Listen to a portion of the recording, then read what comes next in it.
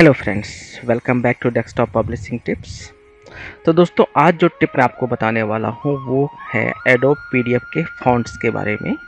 दोस्तों, कई बार क्या होता है कि हमारे पास कोई पीडीएफ फ़ाइल आती है और उसमें हमें कोई फ़ॉन्ट बहुत पसंद आता है और हम चाहते हैं कि उस फ़ॉन्ट को हम अपने किसी फ्यूचर प्रोजेक्ट के अंदर यूज़ करें। बट वो फ़ॉन्ट हमारे पास सिस्टम में नहीं होता है। तो हम जनरली क्या करते हैं कि हम पहले तो उस फ़ॉन्ट का नाम पता लगाते हैं।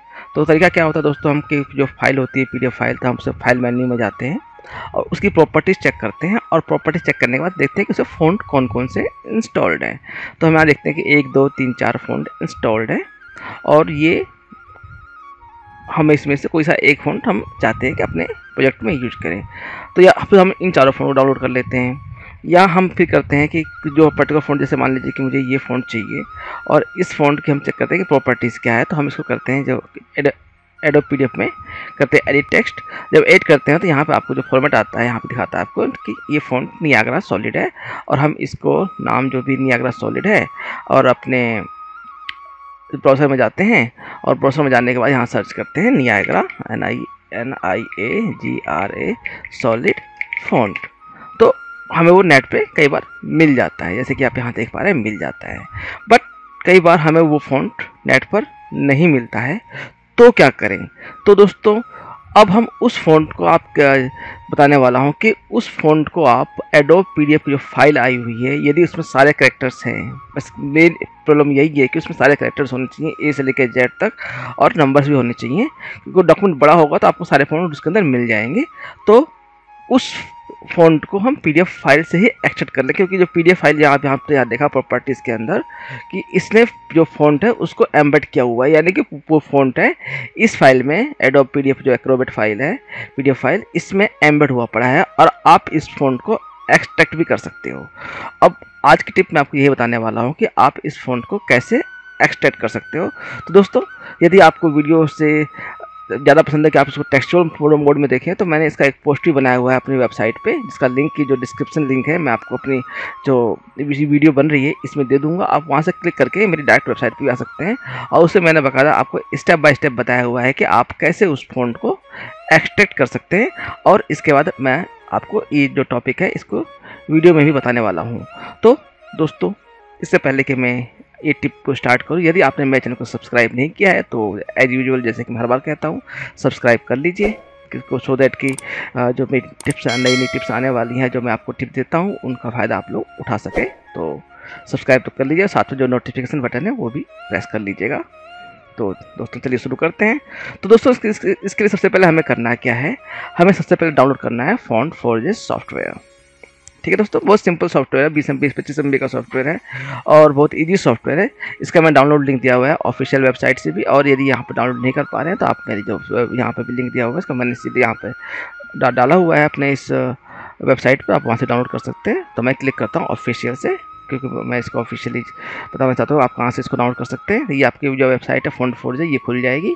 और इसके अंदर दोस्तों, आप देखेंगे विंडोज़ का वर्जन भी है मैक वर्जन भी है लाइन्स वर्जन भी है तो वो सारे वर्जन अवेलेबल है। तो डिपेंड करता है कि आप कौन सा ऑपरेटिंग सिस्टम यूज़ कर रहे हैं। तो आप जो भी ऑपरेटिंग सिस्टम यूज़ कर रहे हैं, उसके हिसाब से आप इसको डाउनलोड कर लीजिए। तो मैं इसको विंडोज़ वाला डाउनलोड करूँगा। और चूँकि मैंने इसको ऑलरेडी डाउनलोड किया हुआ है पहले से ही तो कन्फर्म एंड डाउनलोड आप कर लीजिएगा अपने सिस्टम पे। आप जैसे कन्फर्म डाउनलोड डाउनलोड करेंगे तो यहाँ पे एक इसके आ जाए कि डाउनलोड जो भी नया लेटेस्ट वर्जन आया हुआ है, उस पर क्लिक कर लीजिए और इसके बाद ये फ़ाइल जो है आपके सिस्टम में सेव हो जाएगी। अब ये फ़ाइल जो है मेरे सिस्टम में सेव हुई पड़ी है डाउनलोड्स में। मेरे प्रोग्राम्स के अंदर सेव हुई पड़ी है। ये ये फ़ाइल आपको इस तरीके से मिल जाएगी फ्रंट फोर जे जो भी आपने फ़ाइल डाउनलोड करी है। इसके बाद दोस्तों क्या करना है, आपने इसको इंस्टॉल कर लेना है अपने सिस्टम पे। ठीक है दोस्तों? तो अब जैसे कि मैं इंस्टॉल कर रहा हूँ तो मेरे पास यहाँ वार्निंग आ रही है तो आपने इसको यस पे क्लिक कर लेना है।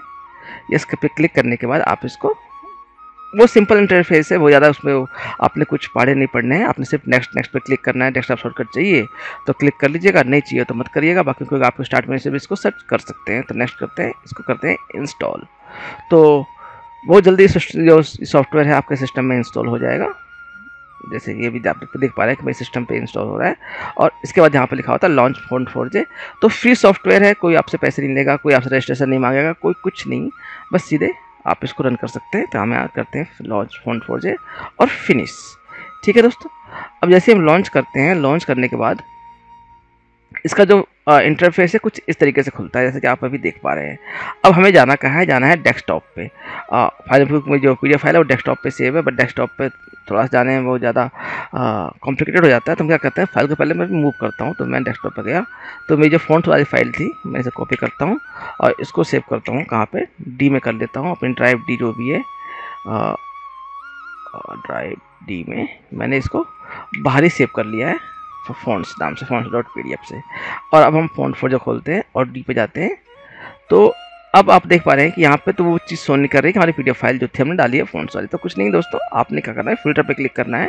और इस पर नीचे लिखा हुआ है एक्सट्रैक्ट फ्रॉम पीडीएफ आपने इस पर क्लिक करना है।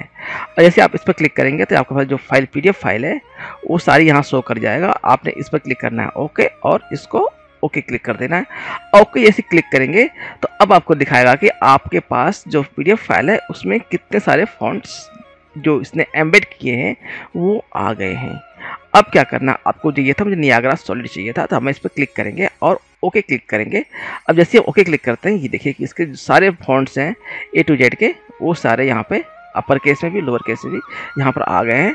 और बस अब हमें क्या करना है इसके बाद? इसके बाद दोस्तों, आपने इसको फ़ाइल को करना है जनरेट फॉन्ट जनरेट फॉन्ट पे क्लिक करेंगे तो यहाँ पर आपको किस फॉर्मेट में चाहिए? तो हमें चाहिए टी टी एफ़ फॉर्मेट में चाहिए। तो आप इसको हटा सकते हैं, कोई जो एल आई एम पे कोई ज़रूरत नहीं है इसकी। या नाम आप जो भी दे सकते हैं, क्योंकि इंस्टॉल तो वो इसी नाम से करेगा, जिस नाम से वो फॉन्ट है। ठीक है? अब इसके बाद इसको आप जब आ गए टी पे तो करेंगे जनरेट तो आपसे लोकेशन पूछेगा कहाँ पे जनरेट करनी है? नहीं पूछा, क्योंकि इसने बाय डिफ़ॉल्ट जहाँ से हमने पी फ़ाइल खोली हुई है उसने वहीं सेव कर दिया है।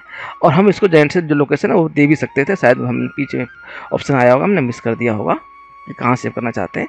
तो ये देखिए दोस्तों कि जैसे ये मैंने वहाँ पर जनरेट किया है तो आप यहाँ देख पाए नियागा सोई डेगलो डॉट टी टी एफ़ के नाम से ये फ़ाइल यहाँ पर सेव हो गई है। और अब मैं इसको खोल रहा हूँ तो यहाँ देखिए, इसमें A B C D character है अपर केस और नंबर्स जो कि मैंने अपने यहाँ पी फ़ाइल में डाले हुए थे, जैसे कि आप यहाँ देख पा रहे हैं।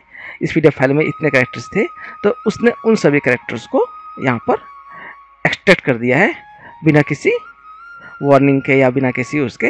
तो दोस्तों, अब चाहूँ तो मैं इस फ़ोन को इंस्टॉल करूँ इंस्टॉल करूँगा, चूँकि मेरे सिस्टम में पहले से इंस्टॉल है तो ये इसको इंस्टॉल ओवर करने की कहेगा या मैं करता हूँ इंस्टॉल देखिए तो उसने इसको इंस्टॉल कर दिया है।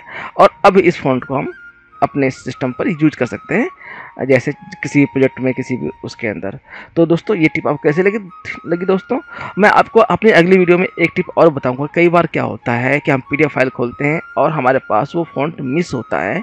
और हम वहाँ पर जब देख पाते हैं प्रॉपर्टीज़ में क्लिक करते हैं फ़ॉन्ट्स पे क्लिक करते हैं तो यहाँ दिखाता है नॉन एम्बेडेड एम्बेडेड फ़ॉन्ट या वो फ़ॉन्ट एम्बेड नहीं हुआ है, और हम उस प्रॉब्लम को कैसे सॉल्व कर सकते हैं, मैं आपको अगली वीडियो में इसके बारे में बताने वाला हूँ सो दैट तो दोस्तों, आप मेरे चैनल को सब्सक्राइब कर लीजिए, क्योंकि ऐसी ऐसी टिप्स मैं अपने चैनल पर डालता ही रहता हूँ।